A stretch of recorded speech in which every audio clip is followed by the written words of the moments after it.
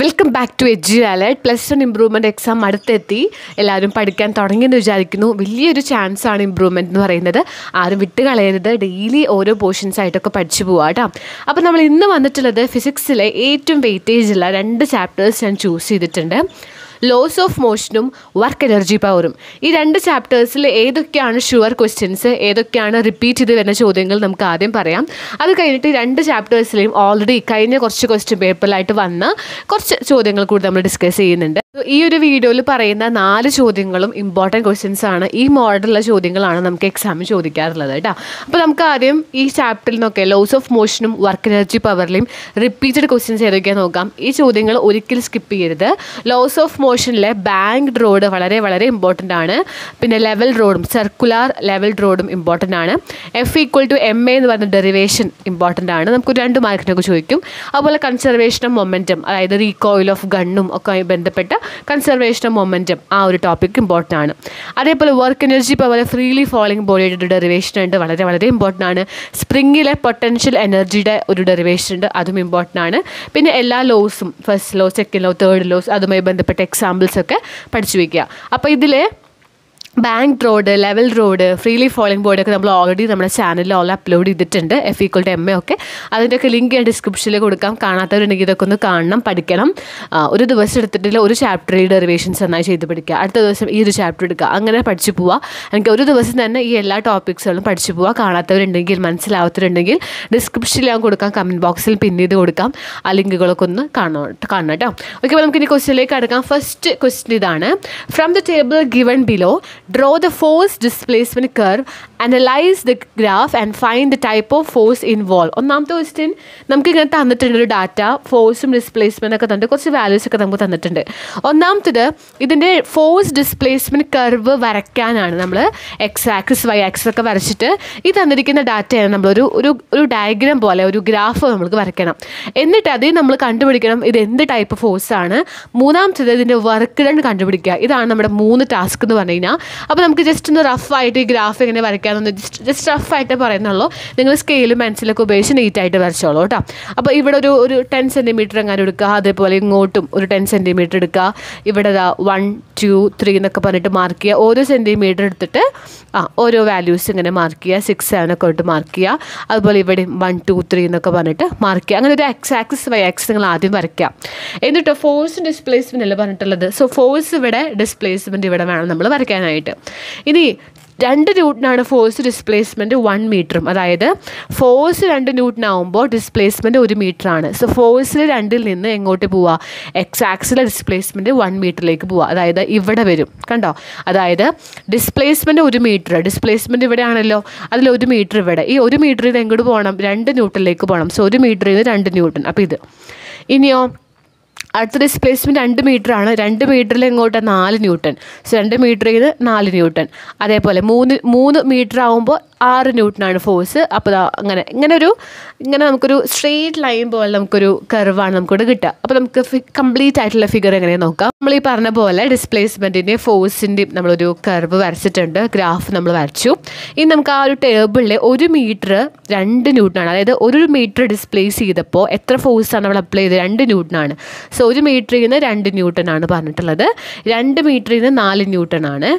ഇനി മൂന്ന് മീറ്ററിൽ നിന്ന് സിക്സ് ആണ്. അവിടുത്തെ ഫോഴ്സ് നാല് മീറ്റർ എന്ന് പറയുമ്പോൾ എയ്റ്റ് ന്യൂഡിനാണ് അഞ്ചാമ് പത്ത് ഇങ്ങനെ നമുക്ക് തന്നിട്ടുള്ളത്. അപ്പോൾ നമുക്ക് ഇതിന്റെ ഒരു കർവ് സ്ട്രെയിറ്റ് ലൈനാണ് നമുക്ക് സ്കെയിലും പെൻസിലൊക്കെ ഉപയോഗിച്ച് വരച്ചോളൂ. ഒരു സ്ട്രെയിറ്റ് ലൈൻ നമുക്ക് കിട്ടും. സോ ഒന്നാമത്തെ എയുടെ ആൻസർ നമുക്ക് കിട്ടി. നമ്മൾ ആ ഒരു കർവ് വരച്ചു. രണ്ടാമത്തെ ക്വസ്റ്റ്യൻ ഇത് എന്ത് ടൈപ്പ് ഫോഴ്സ് ആണ്? അനലൈസ് ദ ഗ്രാഫ് ഈ ഗ്രാഫ് നോക്കിയിട്ട് find the type of force involve ഇവിടെ നിങ്ങൾക്ക് നോക്കിയ ഒരു കാര്യം മനസ്സിലാവും. ഓരോ ഡിസ്പ്ലേസ്മെന്റിലും ഓരോ ഫോഴ്സാണ് ഒരു മീറ്റർ ഡിസ്പ്ലേസ് ചെയ്യുമ്പോൾ രണ്ട് ന്യൂട്ടൺ ഫോഴ്സാണ് അപ്ലൈ ചെയ്തത്. നാല് ന്യൂട്ടൺ ഫോഴ്സ് അനുസരിച്ചിട്ടാണ് രണ്ട് മീറ്റർ മൂവ് ചെയ്യുക. അതായത് ഓരോ ടൈപ്പ് ഫോഴ്സിനും ഡിസ്പ്ലേസ്മെന്റ് മാറിക്കൊണ്ടേയിരിക്കുന്നുണ്ട്. അതിന്റെ അർത്ഥം ഇത് എന്ത് ഫോഴ്സാണ് ഇതൊരു വേരിയബിൾ ഫോഴ്സ് ആണ് എന്നാണ് ഇതിന്റെ ആൻസർ കൊടുക്കുക. വേരിയബിൾ ഫോഴ്സ് ഫോഴ്സ് മാറിക്കൊണ്ടേയിരിക്കുകയാണ്. അതായത് ഒരു മീറ്റർ മൂവ് ചെയ്യാൻ വേണ്ടി രണ്ട് ന്യൂട്ടൺ ഫോഴ്സ് ആണ്. രണ്ട് മീറ്റർ ആക്കാൻ വേണ്ടി നാല് ന്യൂട്ടൺ ഫോഴ്സ് അപ്ലൈ ചെയ്തു. മൂന്ന് മീറ്റർ വേണ്ടി ആറ് ന്യൂട്ടൺ ഫോഴ്സ് അപ്ലൈ ചെയ്തു. ഇങ്ങനെ ഡിസ്പ്ലേസ്മെന്റ് മാറിക്കൊണ്ടിരിക്കാൻ വേണ്ടി അവർ ഫോഴ്സും ഒപ്പം ഒപ്പം ചേഞ്ച് ചെയ്യുന്നുണ്ട്. So that is variable force എന്നാണ് പറയാം. ഇനി സി ക്വസ്റ്റ്യൻ എന്ന് പറഞ്ഞു കഴിഞ്ഞാൽ ഇതാണ്. ഇതിന്റെ വർക്ക് ഡൺ കണ്ടുപിടിക്കുക അപ്പോൾ നമുക്കിവിടെ ഫോഴ്സ് തന്നിട്ടുണ്ട്. ഫോഴ്സും ഡിസ്പ്ലേസ്മെന്റും തന്നിട്ടുണ്ട്. അതിന്റെ ഒരു കർവ് നമുക്ക് തന്നിട്ടുള്ളത്. സോ വർക്ക് കണ്ടുപിടിക്കാൻ വേണ്ടി വർക്ക് കണ്ടുപിടിക്കാനുള്ള ഇക്വേഷൻ എന്താ? ഫോഴ്സ് ഇന്റു ഡിസ്പ്ലേസ്മെന്റ് ആണ് വർക്ക് കാണാനുള്ള ഇക്വേഷൻ അപ്പോൾ നമ്മൾ ഈ ഗ്രാഫ് ഉപയോഗിച്ച് എങ്ങനെ കാണാമെന്നറിയോ ഫോഴ്സും ഡിസ്പ്ലേസ്മെന്റും തന്നിട്ട് വർക്ക് കണ്ടുപിടിക്കാൻ പറഞ്ഞാൽ ഇതിന്റെ ഏരിയ കണ്ടുപിടിച്ചാൽ മതി. അതായത് നമുക്കറിയാം ഫോഴ്സ് ഒരു ഡിസ്പ്ലേസ്മെന്റ് ആണ് എന്ത് വർക്ക് ഡൺ സോ ഈ ഗ്രാഫിന് എന്ത് കണ്ടുപിടിക്കുക? ഏരിയ കണ്ടുപിടിക്കുക. ഏരിയ ഓഫ് ദി ഗ്രാഫ് ഈ ഒരു ഗ്രാഫിന്റെ ഏരിയ കണ്ടുപിടിച്ചാൽ നമുക്ക് എന്ത് കിട്ടും? വർക്ക് കിട്ടും. കാരണം ഇവിടെ ഫോഴ്സും ഇവിടെ ഡിസ്പ്ലേസ്മെന്റ് ആണ്. ഫോഴ്സും ഡിസ്പ്ലേസ്മെന്റ് ചെയ്ത് കഴിഞ്ഞാൽ നമുക്ക് വർക്ക് കിട്ടും. സോ ഏരിയ കണ്ടുപിടിക്കാം ഏരിയ നമ്മൾ എങ്ങനെ കണ്ടുപിടിക്കാന്ന് അറിയോ? ഇതാ ഇങ്ങനെ ഒരു ഫിഗർ ഇങ്ങനെ ഒരു ഗ്രാഫാണല്ലോ നമുക്ക് തന്നിട്ടുള്ളത്. അപ്പോൾ ഇവിടെ നമ്മൾ എന്ത് ചെയ്യുക ഇവിടെ നമുക്ക് ഇങ്ങനെ ചെറിയൊരു ട്രയാങ്കിൾ നമുക്ക് ഇവിടെ ഇങ്ങനെ കൺസ്ട്രക്ട് ചെയ്യാം. ഇങ്ങനെ ഒരു ചെറിയൊരു ട്രയാങ്കിൾ നമ്മൾ ഇങ്ങനെ കൺസ്ട്രക്ട് ചെയ്യുക കണ്ടോ? ഇങ്ങനെ ഒരു ഒരു ട്രയാങ്കിൾ നമ്മളവിടെ കൺസ്ട്രക്ട് ചെയ്തു. ഇത് നമുക്ക് ഏരിയ കണ്ടുപിടിക്കാം. ഏരിയ കണ്ടുപിടിക്കാൻ വേണ്ടി ഒരു ട്രയാങ്കിൾ ആണ്. ട്രയാങ്കിളിന്റെ ഏരിയ ഈക്വൽ ടു എന്താണ്? ഇതാ ഇവിടെ നിങ്ങൾ നോക്കിയൊരു കാര്യം മനസ്സിലാകുന്നത് ഒരു റൈറ്റ് ആംഗിൾ ട്രയാങ്കിൾ ആണ് അല്ലേ? ഇവിടെ ഒരു മട്ട ത്രികോണാണ് വരിക. നമുക്ക് ഇവിടുന്ന് ഒരു ലൈൻ സ്ട്രേറ്റ് ലൈൻ നമ്മൾ വരയ്ക്കുക. ഇതേപോലെ ഒരു ഗ്രാഫ് നമുക്കിവിടെ കിട്ടും. ഇതൊരു മട്ട ത്രികോണാണ് I mean right angle triangle ആണ്. അതിന്റെ ഏരിയ കണ്ടുപിടിക്കാൻ equation half into b into h ആണ്. So area of the graph equal to half into base നമുക്ക് നോക്കാം. ബേസ് എന്ന് പറഞ്ഞാൽ ഈ ലെങ്ത് ആണ്. എത്ര വരും? One two three four five so അഞ്ചാണ് ബേസ് എന്ന് പറഞ്ഞു കഴിഞ്ഞാൽ അഞ്ചാണ്. ഇനി ഹൈറ്റ് നമുക്ക് കാണാം. ഹൈറ്റ് എത്ര? ഈ ലെങ്ത് അല്ലേ? ഈ ലെങ്ത് എത്രയാണ്? ആ പത്താണ്. അഞ്ച് നേരെ പത്തിൽ കാണാം. സോ പത്ത്. So height equal to ten കൊടുക്കാം. So half into five into ten വരും. ഇത് നമുക്ക് ചെയ്യാൻ സിമ്പിളാണല്ലോ ആ അതായത് ടെന്നിന്റെ ഹാഫ് എന്ന് പറഞ്ഞാൽ five ഫൈവിന്റെ five twenty five twenty five ജൂളാണ് work എന്ന് പറഞ്ഞു കഴിഞ്ഞാൽ. സോ നിങ്ങൾക്ക് എവിടെയെങ്കിലും ഒരു ഫോഴ്സ് ഡിസ്പ്ലേസ്മെന്റ് ഗ്രാഫ് തന്നിട്ടുണ്ടെങ്കിൽ അതിന്റെ വർക്ക് കണ്ടുപിടിക്കാൻ പറഞ്ഞാൽ അതിന്റെ ഏരിയ കണ്ടുപിടിച്ചാൽ മതി. ഈ കാര്യങ്ങളൊക്കെ ഒന്ന് അറിഞ്ഞിരിക്കുക. അപ്പോൾ ഇങ്ങനത്തെയുള്ള ഗ്രാഫ് ക്വസ്റ്റ്യൻസ് നമുക്ക് എക്സാമിൽ ഉണ്ടായിരിക്കും. എല്ലാവർക്കും ഇത് മനസ്സിലായെന്ന് വിചാരിക്കും നമുക്ക് രണ്ടാമത്തെ ചെറിയൊരു ഡെറിവേഷനിലാണ് ഡെറിവേഷനിലേക്ക് നമുക്ക് കടക്കാം. ഓക്കെ ഇത് കൺസർവേഷൻ ഓഫ് മൊമെന്റുമായി ബന്ധപ്പെട്ടിട്ടുള്ള ഒരു ഡെറിവേഷനാണ് കേട്ടോ ഇതാണ് question below figure represent two point masses M one and M two രണ്ട് ഒബ്ജക്റ്റുകളുണ്ട് രണ്ടിന്റെ mass M one M two ആണ്. രണ്ടും അപ്രോച്ച് ചെയ്യുക രണ്ടും അടുത്തേക്ക് വന്നുകൊണ്ടിരിക്കുകയാണ് with speed U one and U two അപ്പോൾ ആദ്യം ഈ രണ്ട് ഒബ്ജക്റ്റുകളുടെ ആദ്യത്തെ വെലോസിറ്റിയാണ് യു വൺ യു ടു എന്ന് പറഞ്ഞു കഴിഞ്ഞാൽ let them undergo one dimensional collision ഇത് കൊളൈഡ് ചെയ്തു. സോ അവരുടെ വെലോസിറ്റി എന്തായി? വി വൺ വി ടു എന്നായി okay M one M two ഉള്ള രണ്ട് ഒബ്ജക്റ്റുകൾക്ക് യു വൺ യു ടു ആയിരുന്നു ആദ്യത്തെ വെലോസിറ്റി ഇവർ കൊളൈഡ് ചെയ്ത് കൂട്ടിമുട്ടിയ ശേഷം ഇത് ബിഫോർ കേസാണ് ഇത് ആഫ്റ്റർ കേസാണ് കൊളൈഡ് ചെയ്ത ശേഷം ഇവരെ വെലോസിറ്റി വി വണ്ണും വി ടു എന്നായിട്ട് മാറി. അങ്ങനെയാണെങ്കിൽ നമ്മുടെ ക്വസ്റ്റ്യൻ ഇതാണ് show that u one minus u two is equal to minus v one minus v two which is which means after collision the relative velocities are equal ഇതിന്റെ meaning എന്താണ്? നമുക്ക് ഇതാണ് derive ചെയ്തെടുക്കേണ്ടത്. നമുക്ക് ചെയ്ത് വന്നാൽ ഇത് കിട്ടണം. ഇതിന്റെ മീനിങ് എന്താണ്? കൊളൈഡ് ചെയ്ത ശേഷം ഇവരുടെ വെലോസിറ്റികൾ എന്താണ്? ഈക്വൽ ആണ്. U one minus u two v one minus v two അതായത് ഈ മൈനസ് ചെയ്യുമ്പോൾ നമുക്ക് അതിനെ റിലേറ്റീവ് വെലോസിറ്റി എന്നാണ് പറയുക രണ്ട് പേരുടെയും മുമ്പുണ്ടായിരുന്ന വെലോസിറ്റിയും ശേഷം കൊളൈഡ് ചെയ്ത ശേഷമുള്ള വെലോസിറ്റിയും ഈക്വൽ ആണ്. വെലോസിറ്റീസ് ആർ ബിക്കം ഈക്വൽ എന്നാണ് നമുക്ക് പ്രൂവ് ചെയ്യേണ്ടത്. അപ്പോൾ നമുക്ക് നോക്കി നോക്കിയാൽ ഒരു ഡെറിവേഷൻ നമുക്ക് ഇതിലേക്ക് എത്തണം. നിങ്ങളുടെ മനസ്സിൽ ഇതാണ് നമുക്ക് കിട്ടേണ്ടത് കേട്ടോ. അപ്പോൾ നമുക്ക് ആ ഒരു ഡെറിവേഷനിലേക്ക് കടക്കാം. ഇത് ഇങ്ങനെ ഒരു കൊളീഷൻ എന്ന് പറയുന്ന ഭാഗമൊക്കെ കൺസർവേഷൻ ഓഫ് മൊമെന്റം ആണ്. കൺസർവേഷൻ ഓഫ് ലീനിയർ മൊമെന്റ് എന്ന് പറഞ്ഞൊരു ടോപ്പിക്ക് നമുക്ക് വർക്ക് എനർജി പവർ എന്ന് പറഞ്ഞ ചാപ്റ്ററിൽ പഠിക്കാനുണ്ട്. കൺസർവേഷൻ ഓഫ് ലീനിയർ മൊമെന്റം എന്താണ് കൺസർവേഷൻ ഓഫ് ലീനിയർ മൊമെന്റ് എന്ന് പറഞ്ഞു കഴിഞ്ഞാൽ ഇതാണ് കൺസെപ്റ്റ് അതായത് നിങ്ങൾക്കൊരു കാര്യം അറിഞ്ഞിരിക്കണം. ഇങ്ങനെ രണ്ട് ഒബ്ജക്റ്റുകൾ തമ്മിൽ കൊളൈഡ് ചെയ്യാന്ന് പറഞ്ഞാൽ അവിടെ കുറേ കാര്യങ്ങൾ കൺസേർവ്ഡ് ആണ്. ഒന്നാമത്തെ കാര്യം അവരുടെ മൊമെന്റം കൺസേർവ്ഡ് ആണ്. മൊമെന്റം കൺസേർവ്ഡ് രണ്ടാമത്തത് അവിടെ കൈനറ്റിക് എനർജിയും കൺസേർവ്ഡ് ആയിരിക്കും. കൺസേർവ് എന്ന് പറഞ്ഞാൽ എന്താ അർത്ഥം? അതായത് കൊളൈഡ് ചെയ്യുന്നത് കൂട്ടിമുട്ടുന്നതിന് മുമ്പുള്ള മൊമെന്റവും കൈനറ്റിക് എനർജിയും കൊളൈഡ് ചെയ്ത ശേഷം കൂട്ടിമുട്ടിന് ശേഷവും ഈക്വൽ ആണ്. അതായത് മൊമെന്റവും കൈനറ്റിക് എനർജിയും കൺസേർവ്ഡ് ആയിരിക്കും. ഏതിലാണെന്നറിയോ? ഇലാസ്റ്റിക് ആയിട്ടുള്ളൊരു കൊളീഷൻ ആണെങ്കിൽ ഇലാസ്റ്റിക് കൊളീഷനാണ് രണ്ട് ഒബ്ജക്റ്റുകൾ കൂട്ടിമുട്ടുക എന്ന് പറയുമ്പോൾ അത് എന്ത് കൊളീഷനാണ് എന്ത് തരം കൂട്ടിമുട്ടലാണ്? ഇലാസ്റ്റിക് കൊളീഷനാണ് ഇലാസ്റ്റിക് കൊളീഷൻ ആണെങ്കിൽ അവരുടെ മൊമെന്റവും കൈനറ്റിക് എനർജിയും കൺസേർവ്ഡ് ആണ്. അപ്പോൾ മൊമെന്റം കൺസേർവ് നമുക്ക് ഇങ്ങനെ കൊടുക്കാം. According to conservation of linear momentum the momentum is conserve momentum is conserved നമുക്ക് ആദ്യം എഴുതാം. ഇതിന്റെ മീനിങ് എന്താണ്? മൊമെന്റം ഈസ് കൺസേർവ് എന്ന് പറഞ്ഞാൽ എന്താ മീൻ ചെയ്യുന്നത്? അതായത് മൊമെന്റം ബിഫോർ കൊളീഷൻ നമുക്ക് കൊളൈഡ് ചെയ്യുന്നതിന് മുമ്പുള്ള മൊമെന്റം ബിഫോറും മൊമെന്റം ആഫ്റ്റർ കൊളീഷനും ഈക്വൽ ആണ്. ഇങ്ങനെ ഒരു ലൈൻ നിങ്ങൾ എഴുതി വെക്കുക. മൊമെന്റം കൺസേർവ്ഡ് എന്ന് പറഞ്ഞാൽ നിങ്ങൾക്ക് എന്താ മനസ്സിലാക്കണ്ടേ? കൂട്ടിമുട്ട് കൂട്ടിമുട്ടുന്നതിന് മുമ്പുള്ള അവരുടെ മൊമെന്റും കൂട്ടിമുട്ടുന്നതിന് ശേഷമുള്ള അവരുടെ മൊമെന്റും ഈക്വൽ ആണ്. Momentum before collision equal to momentum after collision എന്നാണ് ഈ കൺസേർവ്ഡ് കൺസേർവ് എന്നുള്ള മീനിങ്ങിന്റെ അർത്ഥം. ആ ഒരു വാക്കിന്റെ അർത്ഥം. ഇപ്പോൾ കൂട്ടിമുട്ടുന്നതിന് മുമ്പ് പത്ത് ജൂളാണെങ്കിൽ അവരുടെ മൊമെന്റം അതാണെങ്കിൽ കൂട്ടിമുട്ടുന്നതിന് ശേഷം അതേ മൊമെന്റമാണ് ഉണ്ടാകുക ഓക്കെ സോ നമുക്കറിയാം മൊമെന്റം കൺസേർവ്ഡ് ആണ് നമുക്ക് മനസ്സിലായി. കൂട്ടിമുട്ടിയാലും കൂട്ടിമുട്ടിയതിനു ശേഷം മുമ്പൊക്കെ ഒരേ മൊമെന്റമാണ് എന്താണ് ഈ മൊമെന്റം കണ്ടുപിടിക്കാൻ ഇക്വേഷൻ പി എന്ന് പറയുന്നതാണ് മൊമെന്റം മൊമെന്റം കാണാൻ ഇക്വേഷൻ അവിടുത്തെ മാസ് ഇന്റു അവരുടെ വെലോസിറ്റി എന്നാണ്. നിങ്ങൾക്ക് അറിഞ്ഞിരിക്കണം.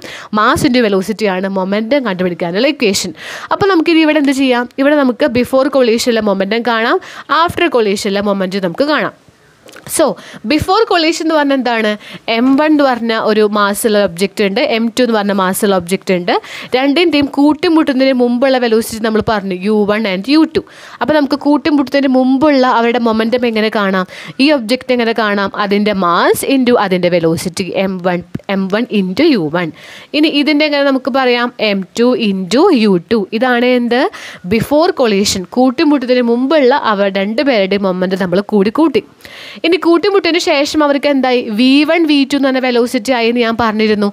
സോ അതെങ്ങനെ കൊടുക്കാം? M one into V one plus M two into V two നമുക്ക് കൊടുക്കാം. ഓക്കെ ഇതാണ് എന്ത്? Conservation of linear momentum according to conservation of linear momentum പ്രകാരം ബിഫോറും ആഫ്റ്ററും ഈക്വൽ ആണ്.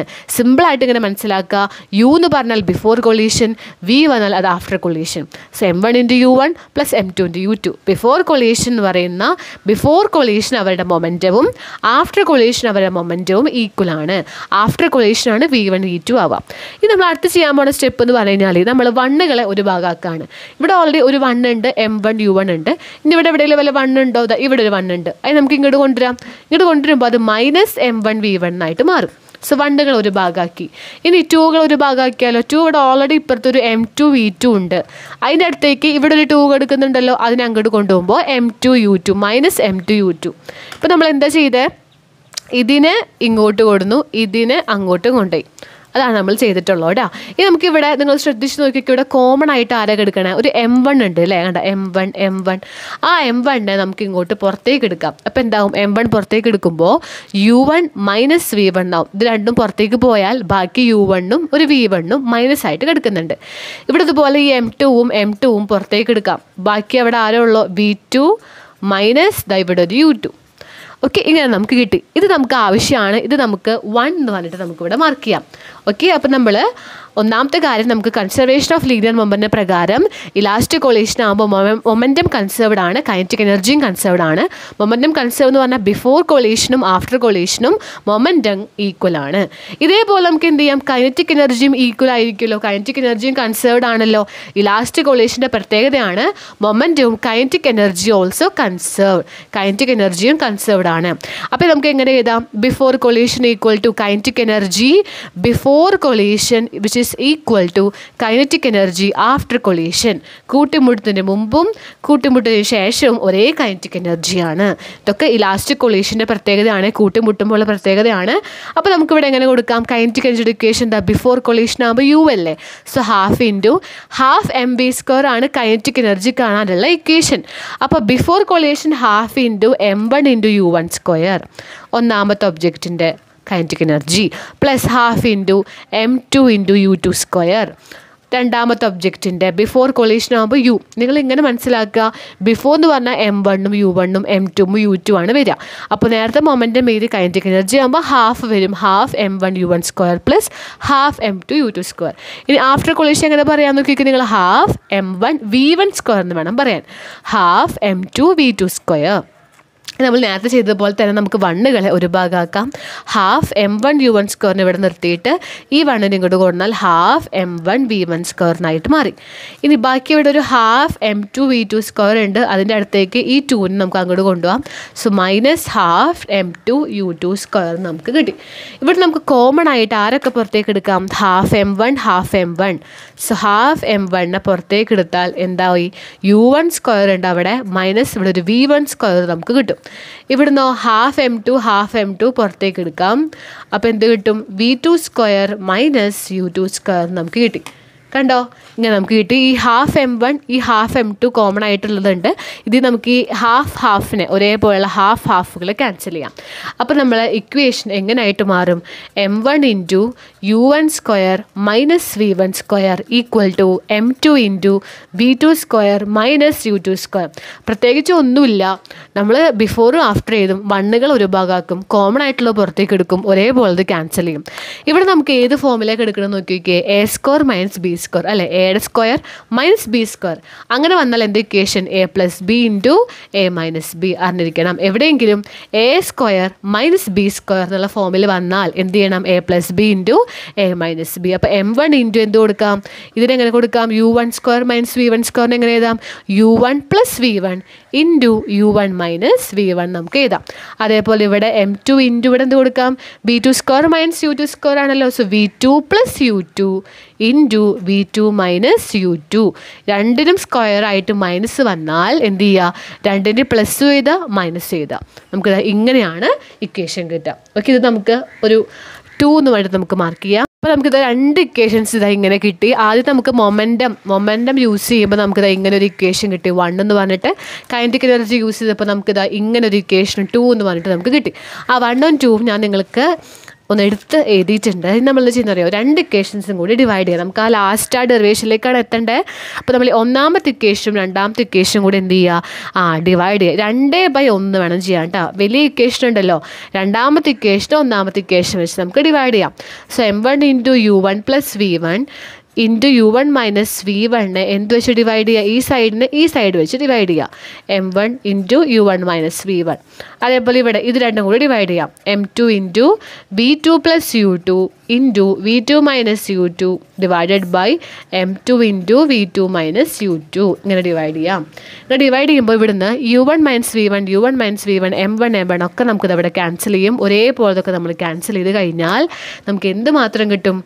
U one plus V one equal to V two plus U two എന്ന് പറഞ്ഞിട്ട് നമുക്കൊരു ഇക്വേഷൻ കിട്ടും. ഇവിടെ നമുക്ക് എന്ത് ചെയ്യാം? യുകളെ ഒരു ഭാഗമാക്കാം വികളെ ഒരു ഭാഗമാക്കിയാൽ നമ്മുടെ ആൻസർ ആയി. സോ യു വണ്ണിനെ യു വണ്ണിന്റെ അടുത്തേക്ക് നമുക്ക് ഈ യു ടുവിനെ കൊണ്ടുവരാം. So minus U two equal to V two minus V one നമുക്ക് കിട്ടി. കണ്ടോ? ഇതാണ് നമ്മുടെ ക്വസ്റ്റ്യൻ ഇതാണ് നമ്മൾ ഡിറൈവ് ചെയ്തെടുക്കേണ്ടത്. നമുക്ക് ക്വസ്റ്റ്യനിൽ ഉണ്ടായിരുന്ന ഡെറിവേഷൻ എങ്ങനെയായിരുന്നു? ഇങ്ങനെയായിരുന്നു. U one minus U two ചെയ്യുമ്പോൾ V one minus V two എന്ന് വരണം. ഓക്കെ ഒരു മൈനസ് വരണം. പക്ഷെ നമുക്കിവിടെ എങ്ങനെ കിട്ടിയത്? U one minus U two ചെയ്യുമ്പോൾ V one minus V two എന്നാണ് വേണ്ടത്. പക്ഷെ നമുക്ക് V two minus V one കിട്ടി. അപ്പോൾ നമ്മൾ എന്ത് ചെയ്യുക? അതിനെ അങ്ങനെ ആക്കി ചെയ്താൽ എങ്ങനെ ആക്കി ചെയ്താൽ V two minus V one നമുക്ക് കിട്ടി. അപ്പോൾ നമുക്ക് തിരിച്ചിടാം. V one minus V two എന്ന് എഴുതാം. ഇങ്ങനെ തിരിച്ചിടുമ്പോൾ ഒരു നെഗറ്റീവ് പുറത്തേക്ക് ഇടണം. അപ്പോൾ നമ്മുടെ ഡെറിവേഷനായി ഇത്രയേ ഉള്ളൂ സ്റ്റെപ്പ് എന്ന് പറഞ്ഞു കഴിഞ്ഞാൽ ഒരു ബുദ്ധിമുട്ടില്ല നിങ്ങൾക്ക് കുറച്ച് സ്റ്റെപ്സ് ഒക്കെ ഉണ്ടെങ്കിലും സംഭവം കോമൺ ആയിട്ട് നമ്മൾ ചെയ്യുന്ന കാര്യങ്ങളാണ്. മൊമെന്റം കൺസേർവ്ഡ് ആണ് കൈനറ്റിക് എനർജി കൺസേർവ്ഡ് ആണെന്ന് പറയുക മൊമെന്റം കൺസേർവ്ഡ് ആണെങ്കിലുള്ള കൺസെപ്റ്റ് നമ്മൾ എഴുതുക. അതേപോലെ കോമൺ ആയിട്ടുള്ള പുറത്തേക്ക് എടുക്കുക. പിന്നെ കൈനറ്റിക് എനർജി ഇക്വേഷൻ എഴുതുക കോമൺ ആയിട്ടുള്ള പുറത്തേക്ക് എടുക്കുക. ഒരേപോലെ ഇത് ക്യാൻസൽ ചെയ്യുക. പിന്നെ ഇവിടെ ഒരു A square minus B square വന്നു. രണ്ട് ഇക്വേഷൻസും കൂടി ഡിവൈഡ് ചെയ്യുക. അത്രയേ ഉള്ളൂ. സിമ്പിൾ ആയിട്ടുള്ള കുറച്ച് കാര്യങ്ങൾ മാത്രമാണ്. എല്ലാവർക്കും ഇത് മനസ്സിലായി വിചാരിക്കുന്നു. ഇനിയും ഇതുപോലെ ഞാൻ നാല് ചോദ്യങ്ങളാണ് പറഞ്ഞിരുന്നത്. ഇപ്പം നമ്മളൊരു ഗ്രാഫിന്റെ പ്രോബ്ലം ഒരു ഒരു ചെറിയൊരു ഡെറിവേഷൻ നമ്മൾ കണ്ടു. ഇതേപോലെ കുറച്ച് പ്രോബ്ലംസും കൂടി ഉൾപ്പെടുന്ന അതായത് ലോസ് ഓഫ് മോഷനും വർക്ക് എനർജി പവറിലെയും ഒരു ഇമ്പോർട്ടന്റ് ആയിട്ടുള്ള രണ്ട് ചോദ്യങ്ങൾ കൂടി നമുക്കുണ്ട് ഒരു പ്രോബ്ലംസ് അതിന് അടുത്ത വീഡിയോയിൽ കൊടുക്കാം. ഒരുപാട് ലെങ്തി ആവും വീഡിയോ അതുകൊണ്ട്. അത് നമുക്ക് അടുത്ത ഒരു തൊട്ടടുത്ത ക്ലാസ്സിൽ നമ്മൾ ഞാനത് ഡിസ്കസ് ചെയ്യുന്നുണ്ട്. അപ്പോൾ നമുക്ക് ആ വീഡിയോ ആയിട്ട് കാണാം. Thanks for watching